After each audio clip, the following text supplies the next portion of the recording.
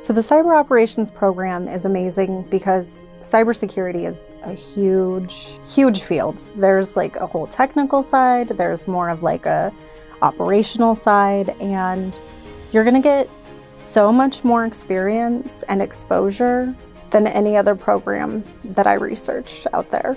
The fact that there is community, and the community even happens if you're not in Idaho, and you end up having classmates that are doing this in the real world and can give you some of their experience to understand like how cybersecurity really works and figure out which direction you might want to go.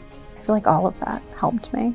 I was looking for something that was online, but I also wanted to be able to connect with people. I wouldn't choose a different program because you're going to be able to find out what you actually are interested in doing and what you're good at.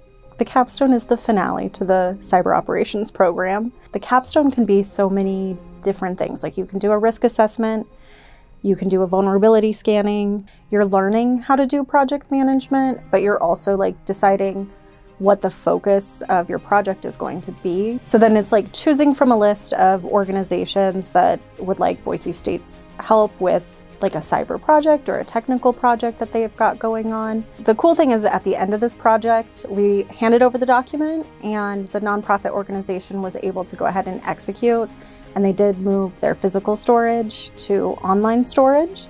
Um, so they are much more resilient than they had been in the past.